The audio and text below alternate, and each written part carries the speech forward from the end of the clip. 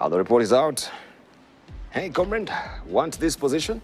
Toa macho ya um, toa ya macho, and it's all yours. This is what uh, GAMS has put up today in the standard share of national bribe by public institutions, according to a report there by the EACC. Almost all of the publications are actually looking at that as well. If I may just run you by, if you missed it, a nation of bribes. There is no free government service in Kenya. Everything has a price. And according to 2023 National Ethics and Corruption Survey, the average size of bribe paid nearly doubled to 11,625 from 6,865 in the previous year. With the usual suspects, including counties featuring in the list of shame, they all, the public service by average size of bribe paid also is listed on the front page of the Daily Nation. And the star is cutting the same as well. State office or offices where bribe loads rule. EACC reports show interior, health and transport are the most corrupt ministries. Four and five is a story. And the nation of bribes as well is on the front page of the People Daily. Avery survey reveals most corrupt state agencies, counties and services uh, Kenyans are unlikely to access until they part with cash and all that is broken down for you likelihood of bribe, bribery demand in public institutions from traffic uh, to the National Construction Authority and the prevalence of bribe payment in counties. Nyamira has taken the lead there, 100%.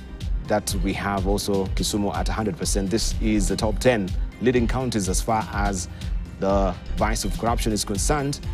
Hongo, Nyamira ndio baba yao. That is the story. We ran you by that particular story. And this is what is headlining the, of course, the cartoons as well, or not really headlining, but captured in the editorial pages as well, and to say leading. And also KQ is out of the hole, so to speak, as far as loss making is concerned, trying to climb out from that particular hole with the recent reports of their share of profits. And also, we, we know that WRC, that is Safari Rally, all roads are leading to Naivasha right now according to editorial cartoons. We want to focus on the civil servants of oil graft monsters. We're talking about corporate governance in public institutions. Mwongozo Code is there, but uh, that just remains a Mwongozo Code, codified publication there of how officials in the public sector should be streamlining themselves as far as ethics is concerned. But we are all none the wiser as far as those Mwongozo Codes are concerned. Holding court this morning with Dr. Habil Olaka, who is the CEO of Kenya Bankers Association, XN Iraki, who is a lecturer, University of Nairobi School of Business. Also, we have with us Dr. Martin Oloo, who is the head of Department School of Law, Exeter University, also advocate of the High Court. All right, let's just focus now on corruption a bit. Uh, we'll begin with you, uh, XN Iraki. Now, looking at these depressing headlines, the statement from EACC, I think we've talked a good game in this country about fighting corruption. But that just remains to be a talk. EACC will do its job and you know, come up with a report and give us a list, but are we making any traction in fighting corruption in this country? Looking at the Transparency International Index as well, we seem not even to be getting better, but sinking lower and lower and lower. Where are we headed? I think before we go to that topic, let's, let's finish with the issue of uh, fertilizer. Because I, I, get concerned when instead of solving a problem, you bring some spinning and some PR. Yes because the Kenyan public is entitled to the truth about any scandal or anything that is pointed as corruption. Because at the end of the day, wherever there is smoke, there is fire. And one of the questions I'm asking is, if you look at fertilizer, as a farmer, would I not better pay higher price for fertilizer than paying cheaply for fake fertilizer? I think one way to solve this problem of fake fertilizer is to let the market do its work. Mm.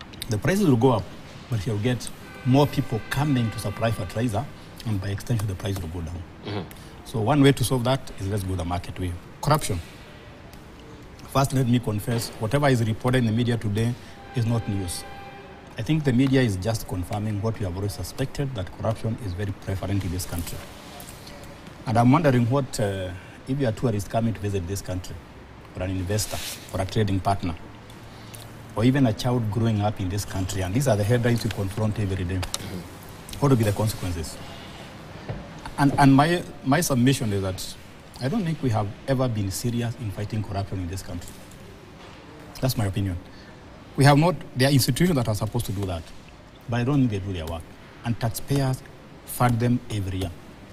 There's a budget for corruption, there's a budget for the police, there's a budget for every institution that does that, the judiciary and so on.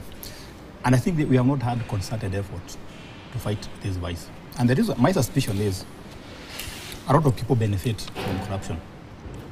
And that's why it's very hard to fight it. For example, we used to fight to talk about corruption at the national level. Then devolved government came. Mm-hmm. Corruption was devolved. Mm-hmm. So even the people who are not thinking about corruption now think about it because it is closer to them. In fact, one of the reasons why corruption was so popular is because people in the counties wanted to have an action of what is happening in the national government. There are deals, there are contracts. Now we can also handle them.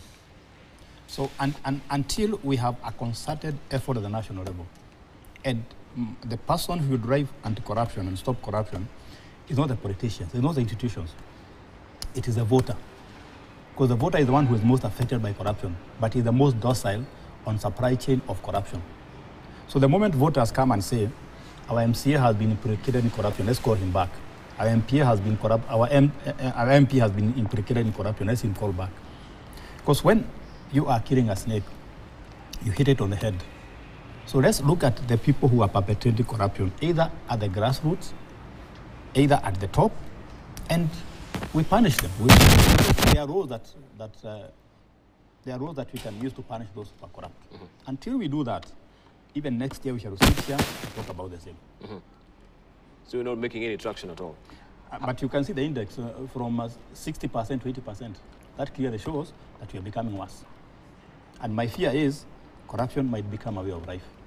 And a lot of people get in certain positions in the public sector, not because they want to serve the society, but because they want to benefit. And they know that it will be done to them. So what is happening is that more and more people are saying, ah, if you cannot beat them, you join them. Mm. And that's why it is becoming such a pervasive issue, such a pervasive cancer, that we think the Debarl has a problem, he is not corrupt. not if you are good.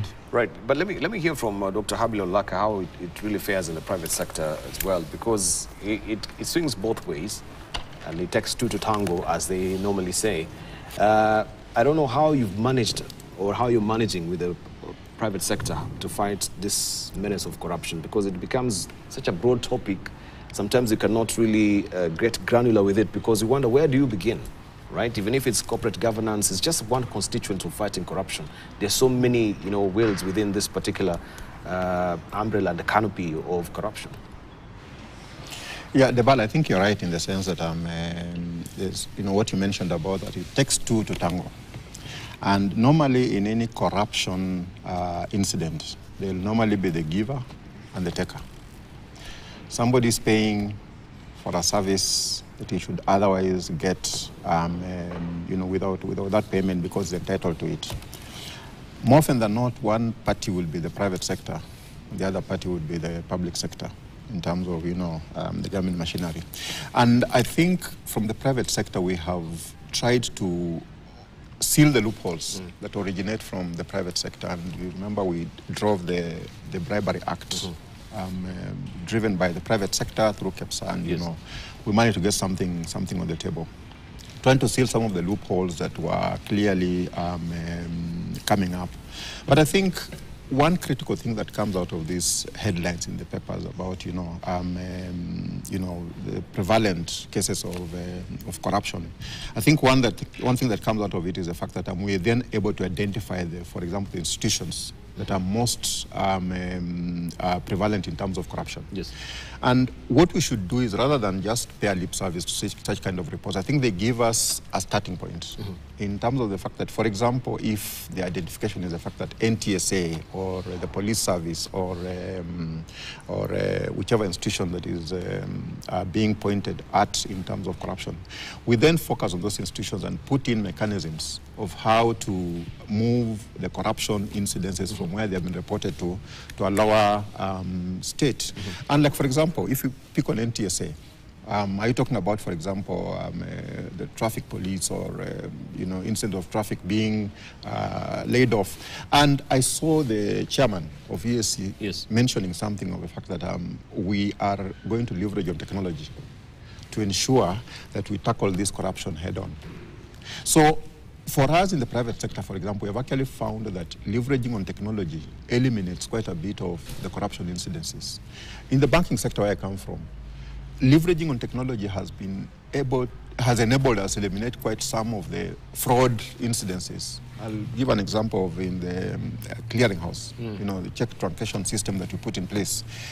Uh, every, you know, incidences of check substitution, which was a major, major problem in terms of fraud in the banking sector. Just by virtue of bringing in automation and bringing in the check truncation system and ensuring that instead of having physical documentation flying across, we now have it digitally transmitted. We eliminated that problem instantly. You see, so I believe in all these cases, leveraging on technology on most of them, you are actually able to eliminate. For example, you know, you are caught by a police, uh, traffic policeman, and uh, you know, normally that's incident because you then have got to pay something to avoid, you know, um, being taken forth, and so you end up paying to the traffic police. Now, if that process was automated to the point whereby you now pay digitally, the money actually goes to government to eliminate any possibility. Of course, we know that you can also be able to infiltrate the system, and rather than pay that money to government, you could be paying to the M-Pesa um, wallet of this police officer.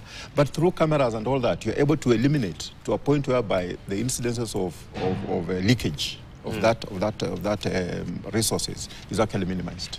So I believe this report is a starting point and we should use that report to ensure that we identify the areas and eliminate them one by one by putting in the necessary mechanisms.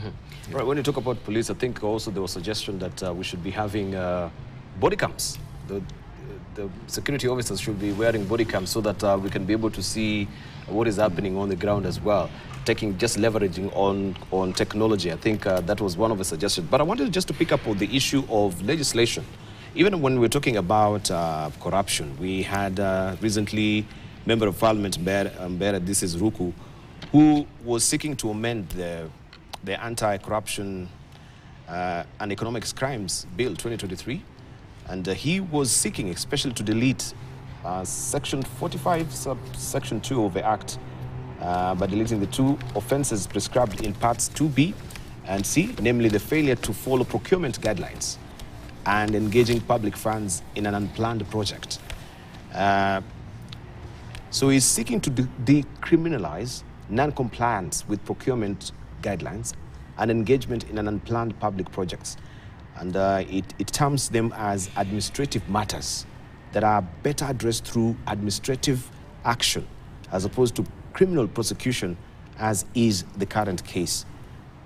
And we know procurement is where everything is really rife because uh, we've had even the president saying, you know, all this begins with budgeting budgeting is where corruption also is budgeted during the budgeting process. But if we have legislators who are coming up with such a bill, I've been, I don't know, how, how has the private sector really taken it as well? Well, I thought my colleague, um, Will who is the lawyer, would pick up on that. But I think Yes. you are right Before in the sense that the- um, the legal- um, yes. yeah, you you see, you see, I, I think one is to have the right laws to manage the system, but then the other one is enforcing those laws. In fact, for quite a bit of time, we have been um, always been told the fact that the problem is not the law. Look at any broken system. Um, look at our anti-money laundering uh, system. The problem is not the laws. We possibly have laws that can reasonably um, govern us. The problem is at the point of enforcement because we fall flat on enforcement. So by tightening the laws, you're not achieving anything because if you tighten them and you're not enforcing them, you are really making no progress. But I think if we just enforced the existing laws, even up to 70 or 80 percent, we will be there because we have got good laws in almost all areas. And for that, I think uh, my colleague will bail me out. You're right. I hope. I hope so. I may disappoint you because you see, uh, Libal, it's very simple. As Kenyans, we like bribes. As Kenyans, an average voter is bribed to vote. An average member of parliament bribes his way or her way to parliament. Same to a governor, same to the president. Uh, use money, he'll use uh, fundraising, whatever it is. We are a system that uses inducements to get anything. Now, if that is our common denominator, why are we surprised that bribery is high? Because if we were a people who loathe corruption or loathe bribery, you would be seeing incidences. Remember when Kibaki came and he had zero tolerance for, for, for, for corruption? Remember how people used to arrest police taking bribes?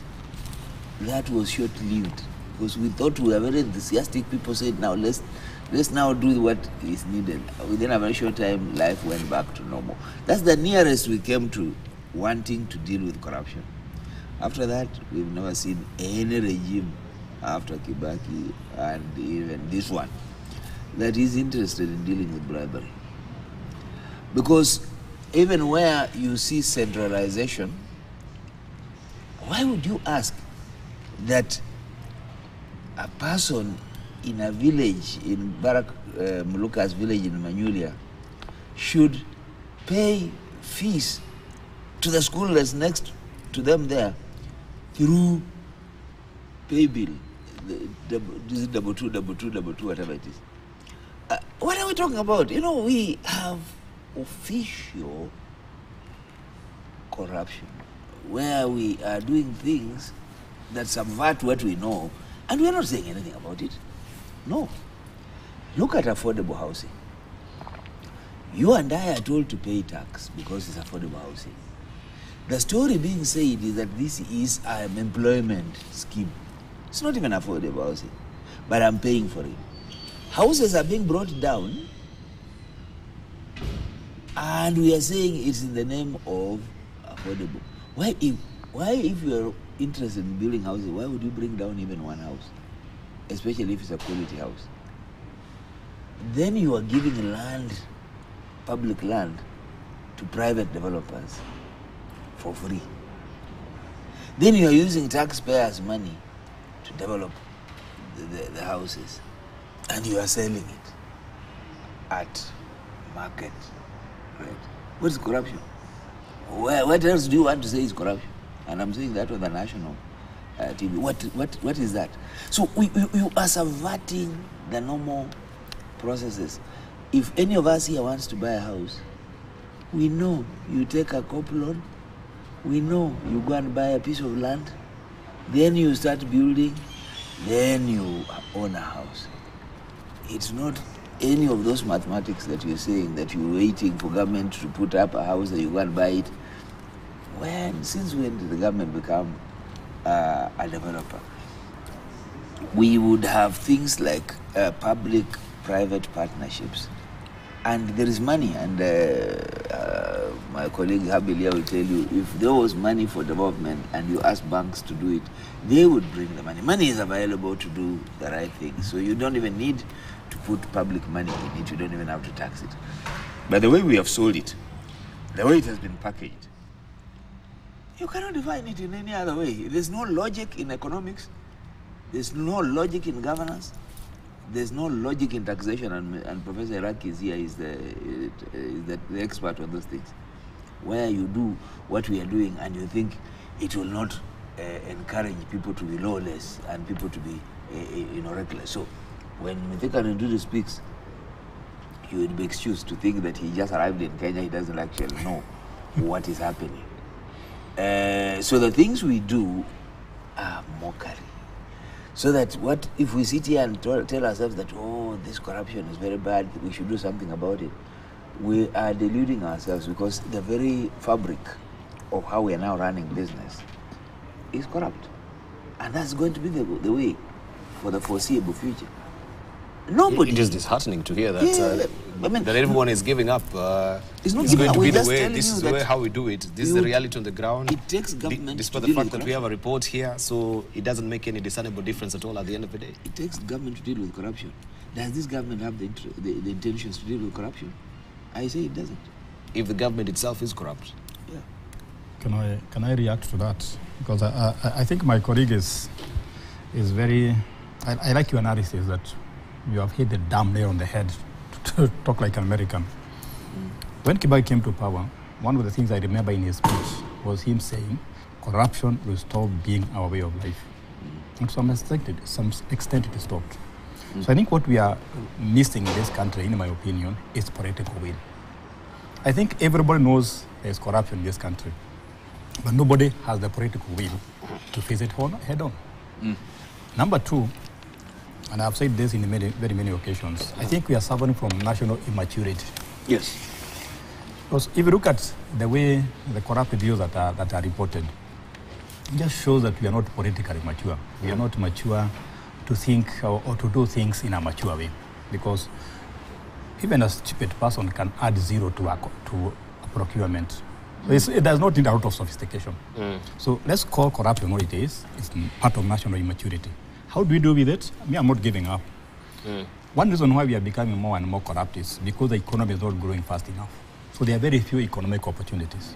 So they are being auctioned. Very few jobs, very few promotions. So if people want to be promoted, if people want jobs, and there are very few, how do you give those few jobs? You auction them by paying higher corruption. So if we made the economy co- uh, uh, grow faster, there will be less corruption. And number four, and uh, you are lawyer, the more we make tighter rules, the more it becomes sweeter to be corrupt. Yeah. So let's give people freedom. Let's have less control. And I'll give you an example of NTSA. I don't have a matatu, but I'm also now concerned about NTSA. Mm-hmm. Because once they go on the road, they have been told to go there. Mm. I'm sure they will stop me. And believe me, they will see a problem with my car. The other day, a policeman stopped me and told me that my car was dirty. And it was true. It It was was, that. it was dirty because it was raining.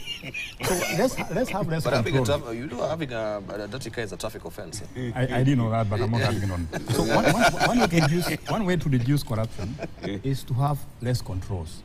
Because the more controls you bring, the sweeter it becomes to be corrupt. So they, they are both uh, judicial, technological, Yeah. and political ways to reduce corruption. But we cannot give up. This is our country.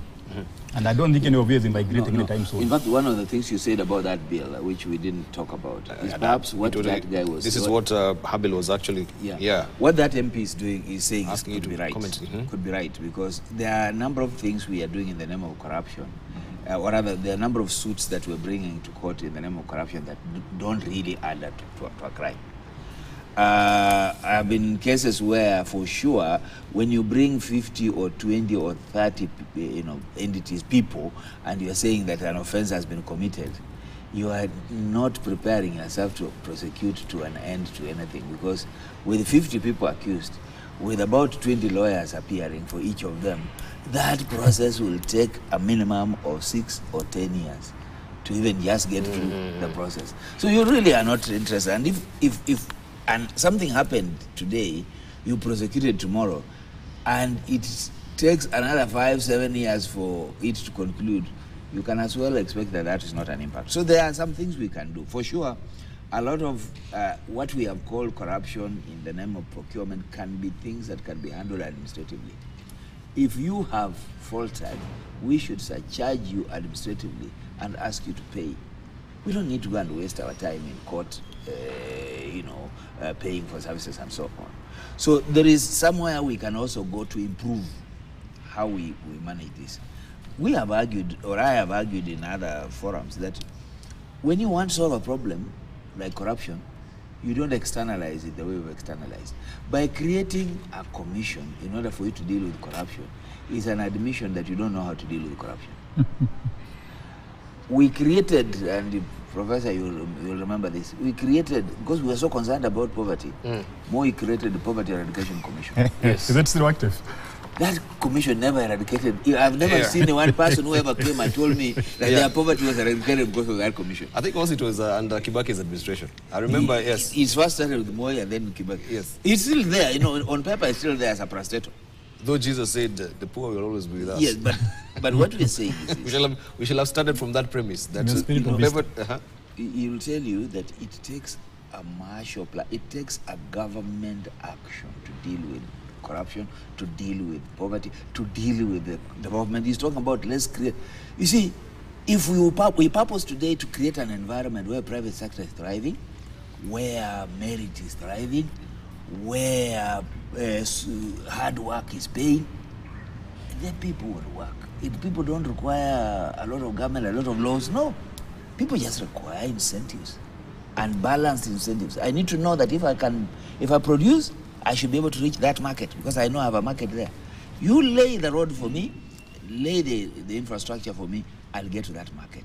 That's what private sector wants. That's what a normal human being wants. So that the government is less and less intrusive. The more government wants to do things in the spaces of private sector, the less incentives there are, and the more perversions there are in terms of corruption and so on. Maybe if we come to you, uh, Dr. Habil Olaka, because the question of uh, still corporate governance, we have sustainability reports that you normally, uh, of course, we have corporates now issuing sustainability reports on how they're tracking with the sustainability issues, especially with the ESG. But when it comes to corporate governance, do we normally have, or is there any stimulation that can come from the private sector that some of these corporates from the private sector, public uh, sector, think them they can han- handle that differently. But from the private sector, also the corporate governance report that also is celebrated, who is having a good corporate governance index in the country. I've never seen that being really sort of given a, a premium focus that we can weigh and raise the, the conscience and awareness regarding these corporate governance issues that are very key because I think it all begins from there. If at all we have a structure and we have good corporate governance uh, watchdogs, so to speak, then maybe that also can bring some modicum of difference in fighting corruption. Yeah, you're right. In the sense that um, uh, you see, most corporates will usually be driven by the profits because you're under pressure from your investors, from your stake, from, from your shareholders to return a profit and justify their investment into the corporation. So we tend to be driven by profits. And what tends to happen is that it's profits at all costs. So you At all are, costs. irrespective of how much damage you're doing to the environment, irrespective of how much damage you're doing to the social fabric, you are still chasing profits. Now, the whole thing about the ESG Yes. is to enable institutions to balance. Profits are important, yes, but you also need to be concerned about the environment, you need to be concerned about the social fabric, you need to be concerned about your corporate governance, which means that um, you should be able to balance between the stakeholders' interests and the other interests as well. And that's why organizations that are really focused on the ESG uh, framework are doing much better because then you have got a positive uh, return to all the various stakeholders.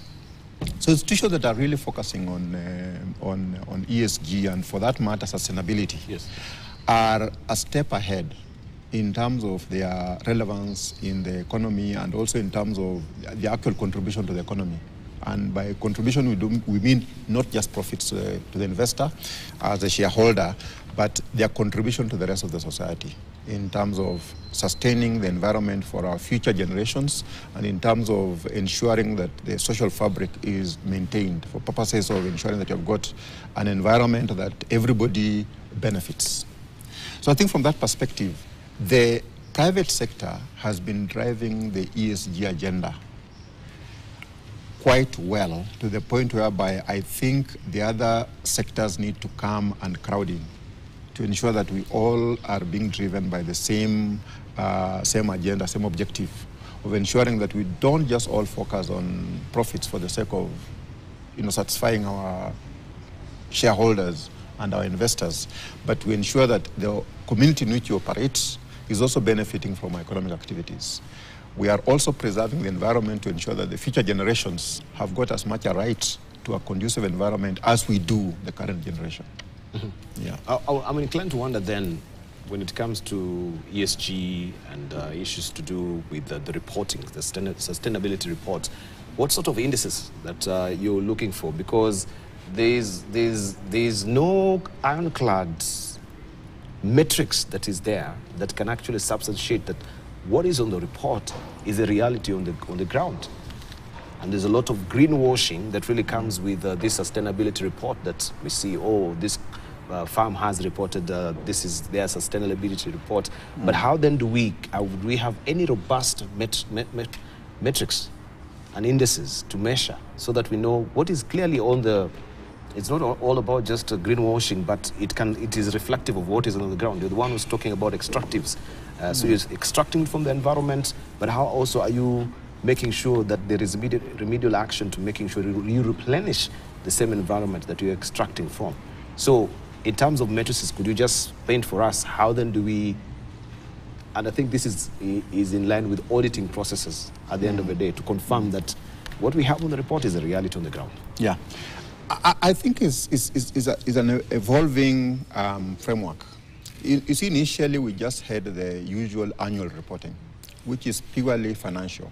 So you will see um, the metrics that are measured in there is the return on investment, um, uh, you know, the, look at the profit as a proportion of the total investment by the shareholder, and that's the number you report. And that's the number that IFRS, for example, has really focused on in terms of, you know, what you report to the shareholders and even the general public. Then, because of the development of sustainability as a concern in terms of businesses and the need for you to report to the various stakeholders, there is a development whereby institutions who are not just reporting the financial annual report, but they also attach to it a sustainability report. So that then you've got your normal financial reporting, and then you've got the sustainability report that also tries to give color to the financial reporting. Now, that slowly is evolving into what we call integrated reporting, so that your actual annual report in it has got the sustainability measures. So that when you're talking about return on investment, is not just a financial return on investment. You're talking about the return on investment from the various um, uh, perspectives in terms of return on investment earned as relating to the, to, the, to, the, to the environment, as relating to the social fabric, and as relating to the actual um, uh, investment in the organization. So we have got what we call the triple. Uh, triple, bottom line. tri- triple bottom line, where you're talking about the profit, planet, and um, and, um, the people. and people.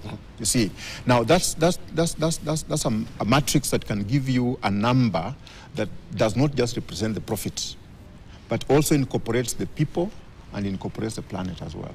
So it's an evolving um, um, reporting framework.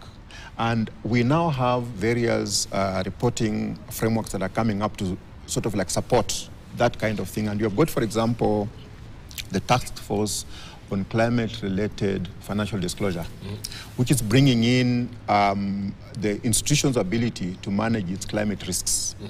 We also have task force on nature-related financial disclosure. And they're all coming up with the templates in terms of how to report your activities in terms of conserving nature, for example.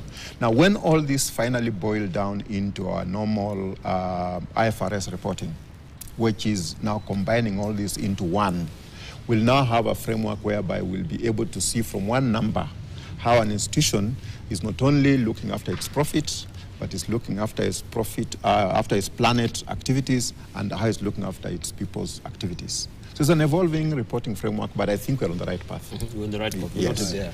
So there's still some tricks that needs to be done uh, as well. Right? You wanted to say something? I think what, doc- what, what Dr. Habil, is- Habil is, is telling you, uh, uh, what he is telling you clearly is that the age of faceless capitalism, the age of profit at any costs is coming to an end. And that's what we are addressing. That if you are going to make this profit, we must know whether you hurt somebody by making that money. So if a company is mining titanium or mining gold or mining anything in this country and they're making super profits, we want to find out whether some people are poisoned downstream. We want to know whether the society where that mine is, is located is benefiting. And I'm a, I'm a keen supporter of this approach because in the past, companies just wanted to make money, but they did not think about the consequences, both short run and long run. So, so this is a, an initiative that we should support. But he put it very clearly, it is evolving. Mm-hmm. Even in the schools of, of business, we are not trying to address that issue. Because traditionally we taught young men and women that the purpose of the private sector, private companies, is to make money at any cost. Mm-hmm. We did not bother much about the soft issues. And it is good these two gentlemen are sitting together because for you to implement ESG, mm-hmm. you need some changes in law. So you are not just going to force companies uh, to, for example, rehabilitate a mine or make sure the river is not polluted. They, they, they are going to not, they are not going to reduce their profit unless they are forced by law. So ESG and changes in the legal system should go together. but they should, should be symbiotic. And, and, and governance, because the ESG, the G in the ES, ES Is the governance bit is governance, and that governance now extends beyond the private sector Yes. to now where the public sector sits. In a good world, it's the business of the public uh, sector to help put in those regulations and to police the regulations to ensure that no harm uh, is uh, caused in the course of making profit or doing business. So that the same argument will then apply even to the public that to what extent is the governance of a country also concerned, concerned about the people, the planet, and benefits because at the end of the day governments do not exist to do business but they exist to ensure that there is enough to help uh, uh, take care of uh, their people. So yes the triple bottom line uh, principle is something that uh, we are all now consciously coming uh, to terms with. When you look at the global trends the private sector across the world has the money and has the muscle that a bit of responsibility and more of care for people and the environment would go a long way in making a difference. When you look at uh, Microsoft, or when you look at uh, uh, Bezos, when you're looking at the the net worth of the big enterprises, uh, they make a, a country like Kenya look like a, a, a small, uh, you know, company somewhere. so, for that reason, they are They can fund our budgets. yes, and Yeah. and therefore, if you if they can be company can fund the entire budget of a country. budget, yes. yeah. So they are respo- if they can also be responsible and make sure that they're looking at profits, yes, but people and looking at the planet, then we will see more.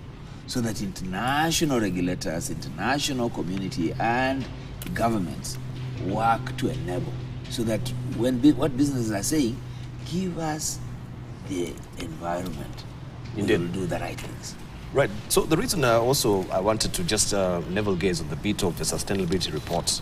We have NEMA, which has listed some of uh, two blue chip companies in this country, right, that are listed also in the NSE, but they're flagged as polluting, you know, uh, Nairobi River. Yet these two companies also they give out their sustainability report, and this is where I'm wondering where is the dichotomy? You have your sustainability report, then we'll have you know an agency in the country which is concerned with the environment flagging you as being a perpetrator uh, or and a polluter of the rivers in this particular country. That's what I was asking. As you say, this is still evolving, but some robustness, this dichotomy in this reporting and this, the reality of the ground at the end of the day.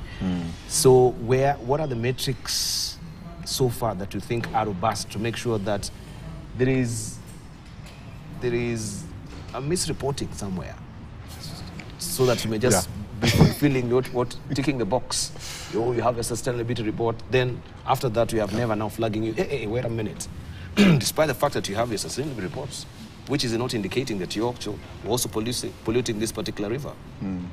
You know, Debarl, I think you are right. And you had raised this point earlier about uh, the role of, in term of, of audit. Yes. You know, to give assurance to the public that the information you're reading meets some required standards. And we have got that, for example, for the normal financial reporting, the normal annual report. It has got some specific standards, the international financial reporting standards, that then the auditor gives assurance to the reader of the financial statements that these statements have been prepared, prepared in accordance with some specific standard. Now, as I mentioned, the sustainability reporting is currently more or less on, on, on, on, on um, you know, you, you elect to go that route. And currently, we do not have um, sort of like standards that somebody can audit against to ensure that you are reporting as per given standards. It's There are no more or less, all, yeah, yeah. you are venturing into that area. You want to disc- you want to become clean. You want to report to the public that this is what I'm doing in this space. So, what is the yardstick for, this, Eventually, for these reports? That, yeah. That's my worry. What's the yardstick? eventually, that's why I was saying that is, is evolving because eventually now we are seeing some specific standards coming in. We now have, for example, under IFRS, we have got IFRS S1 and IFRS S2. And those are standards that are being developed to ensure that the sustainability reporting is following some specific requirements. So then it becomes easy for an auditor to hold you to account to the fact that this is what you're meant to disclose and is missing in your report. So you can even qualify your statements because you have not followed some specific requirements. But as I mentioned, this is, this is, this is evolving. The S1 and S2 standards have just been issued. So entities are now beginning to adopt them and start reporting based on that. So if we fast forward, maybe in another five years' time, when we'll now all be required to report as per given standard, now you can then have the auditor giving us assurance that these statements you're reading are actually prepared as per that standard. And if you know what that standard requires, then you can now be sure. So the case you mentioned of an entity that is listed and it's not following some specific requirements because it's polluting uh, Nairobi River, for example, that will be clear in their statements if they are reporting as per the IFRS S1 or S2. Yeah. Right. Uh, I want to just, uh, before we wind up on this uh, issue of uh, governance, because we are fighting corruption, the academia. Where is the place of academia in, in fighting corruption in this country? Because it seems also uh, that everyone does not seem to be concentrated on the social sciences, which will try to, you know, instill ethics, uh, raise issues uh, to do with, uh, you know, social engineering. Because this is a matter of social engineering that we need just an overhaul. Do we wait for a generation exiting so that also the coming generation will pick up on a clean slate where, you know, they, they are alive and fully attuned to the fact that, uh, you know, corruption is a vice? Or are we also perpetuating the same, same, same vice with the, with the oncoming generation? How, where do we begin from the place of you professors? He- he- the he- doctors in the university because Yes. it- it- i mean all this will is interconnected in one way or the other right it's such a tangled web of you know tissue that we need not to untangle w- w- one of the greatest ills or mistakes you can make in the university is to steal other people's ideas. It is considered that the highest, uh, the greatest height of dishonesty and, and integrity. Or academic integrity. ac- integrity. So there is an attempt to make sure that people present original work as much as possible. There is ethical basis upon which research. i'm, is I'm not even talking about that uh, but uh, academic integrity i'm talking about the professors in universities coming up with curricula and giving concentration right Yes. o- on the issues of social sciences because I, I don't think that is given much premium we go Mm, mm. for yeah we go for the lawyers uh, we go for the businesses right no one is really Mm, talking about uh, is I, social I sciences agree, I agree, but then this is where now academia would, does not have one solution. For example, you will find that kind of uh, stuff in the philosophy, in the religious, and uh, perhaps the you know theological school, or you will find that curricula in sociology and maybe even politics. But you see, what we should be saying is, for example, let's look at the overall CBC. To what extent can we look at CBC and say it integrates it, it, in- integrates aspects of social, moral, uh, you know, training, so that uh, an average Kenyan who has gone through the CBC is able to pick that up. Now, unfortunately for us, is that not 844, not the previous system, was able to look, and we hope that with CBC we can be able to look at some of these functional issues because CBC is then, is then supposed to be functional, is supposed to be competence based, and that we can build in these things as we go along. So, yes, as we review our curricula, particularly from the primary coming into the secondary, there's an opportunity for us to infuse. Remember, a lot of times academia responds to the needs of society.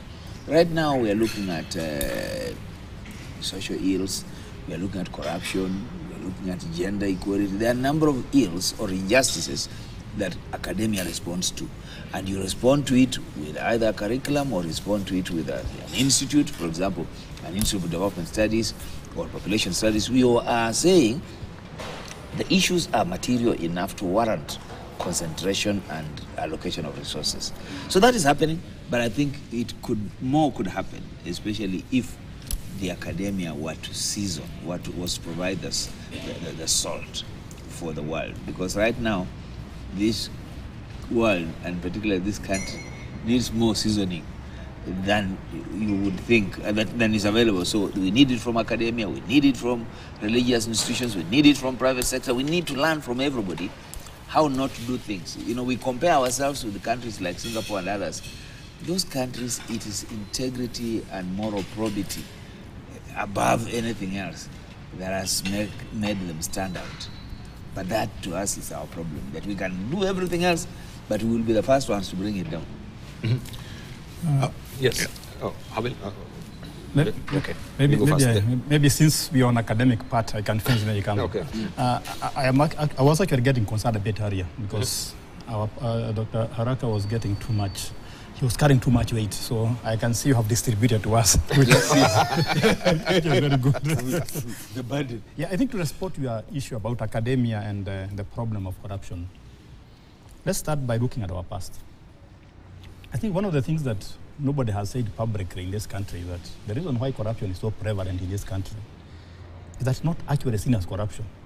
It is seen as helping. If I went to my village and picked 50 men and made sure all of them got to police, got became teachers, joined the military, and another 50 went abroad, and I was able to, to go through corrupt means, get their passports, get their letters of appointment, I would be a hero. So corruption in this country is not seen as bad, but as positive, helping some people. Mm. And that's one thing we forget.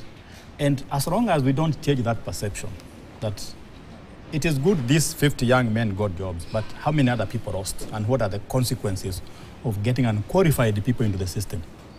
You keep talking about it. In, in academia, let's talk about academia. I think there's been a- an attempt in the past to infuse this thinking about corruption into academia. I don't know how old you are, but you probably, some of you probably did a course called Social Education and Ethics in high school. It was done for a number of years, then it was removed. And I remember, I always find this joke very funny. There was a leakage in an exam in KCSE in a national school on social education and ethics. so I think the question is not teaching these things, it is living these things. And in academia, whether you're in engineering, whether you're in law, whether you're in sociology, I think we should get time to infuse these values and new thinking into our students. So that if we are talking about medicine, can you spend a few minutes talking about the ethical part of it, the value part of it, and the consequences of being corrupt and doing the right thing? If we can do that in every, in every subject, in every profession, then in the next 10 years you start seeing some change. But it's also important to realize that academics should not be should not be following; they should be reading. So that if there's an issue of corruption in this country, we should be the people coming up with solutions, telling the government, telling the church, telling other institutions that we think these are the best solutions. But for us to do that, we need to be funded because I'm not going to sit and think for 10 hours with an empty stomach. We need the society to support us as we go through this. And I'll give you a good example.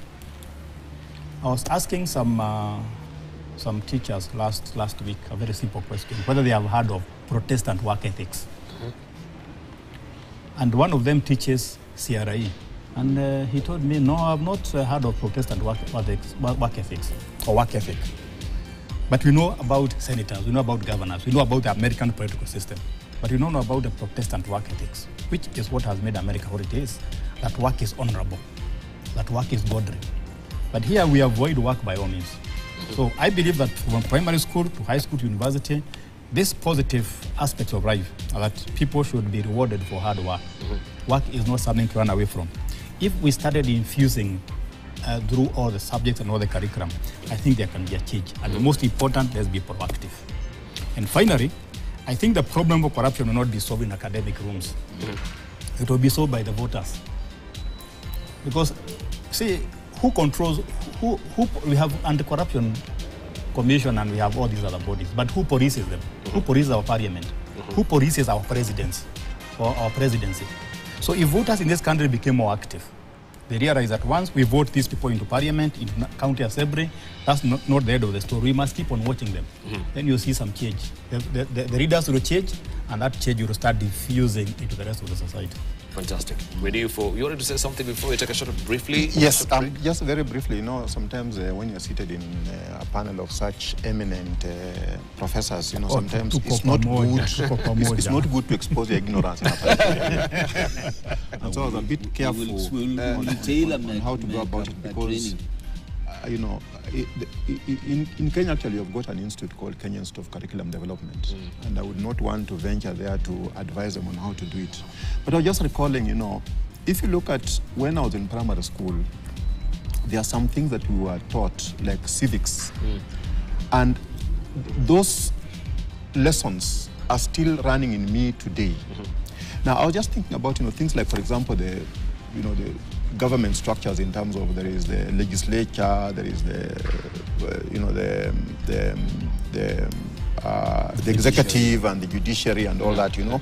Now, I was just thinking at that point, at the same level, if the curriculum can be introduced so that these things we are talking about, ethics, things like corruption, are instilled in these children at that level. It can even be through rhymes and all that. These things stick in the mind, and as they grow up, they actually live by those values. Not necessarily because it was formally put to them, but they start. And Professor mentioned about you know the fact that it's not an issue of teaching; it's a matter of people living by acting by those, you know, living by those values. And I think instilling this in those kids at that level will make them grow into human beings that we expect to be productive members of the society today and avoid some of those vices that we are now struggling to overcome. Right. Yeah. We do for a station break. Uh, even as we're doing that, uh, just briefly, I'm just reminded of the credo of John D. Rockefeller, where I can just read a little bit of it as we take a short break. He says, I believe in the supreme worth of the individual and his right to life, liberty, and the pursuit of happiness. I believe that every right implies a responsibility, every opportunity an obligation, every possession a duty. I believe that laws were made for man and not man for the law.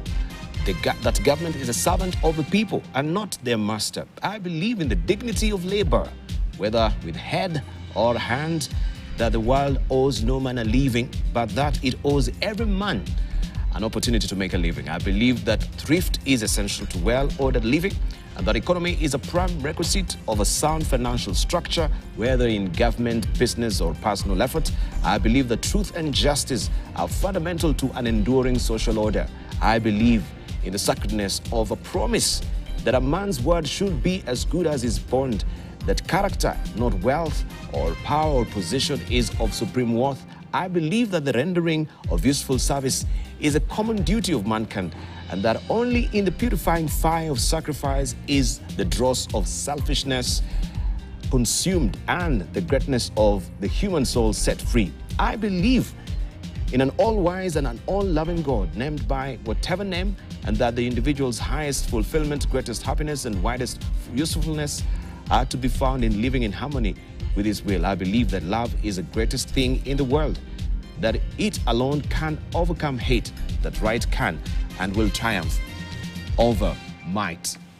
John D. Rockefeller. We take a short break. When we circle back, we want now to navel gaze and on what is happening on the banking sector with the supernormal profits. Uh, so far, Habil Olaka will give us a picture there. We can see also in this time when jobs are not there, one of the banks, Absa, is actually also opening so many branches so far, 15 uh, to count, and still counting. We shall be looking at that, what is informing all that as well. Don't go away, you're watching Sokoni here on Morning Prime.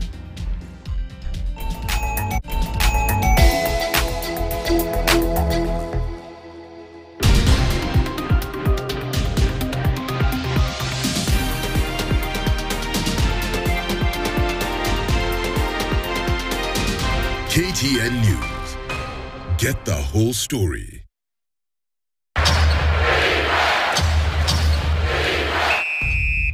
The best in the NBA. Take a date with Cristiano Ronaldo and N'Golo Kante as the Saudi Pro League returns. Excitement, boom, goals and millions of emotions. Who will be the ultimate Bundesliga champion? Absolutely unbelievable.